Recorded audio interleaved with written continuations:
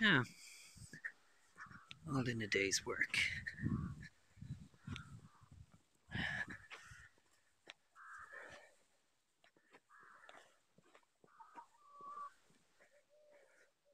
Hello, Chuck Chucks.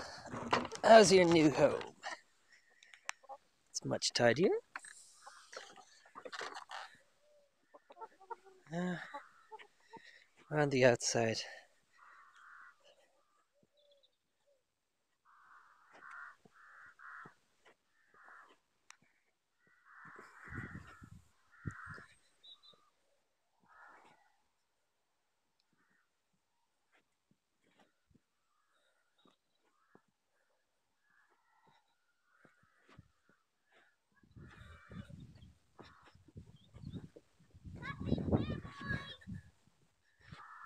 And inside. On one side, for a currant plant. On the other side, food for the chickens. Nesting. Cooping. And general area.